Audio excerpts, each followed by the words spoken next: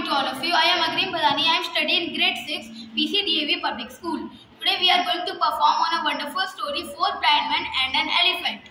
Many times we have arguments with other people because of different opinion, but we should not quarrel with other people because everyone looks things with different angle.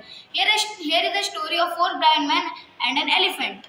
The blind man and his friend decided to go to a farm. They heard people shouting, Look, look, elephants are coming. One by one they touched the elephant.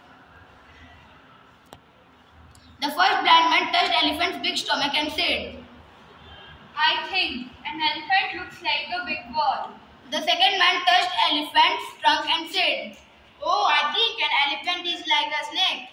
The third blind man touched elephant's leg and said, Oh, I think you all are talking nonsense and you are like a pillar.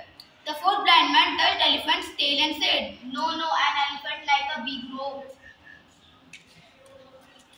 Moral of the story. Some of them thought that he was different the same way. We think our opinion too is right and, and we fight with others who have different opinion. We should learn to appreciate other opinion will go a long way in improving our relationship with them. Thank you to all. Thank.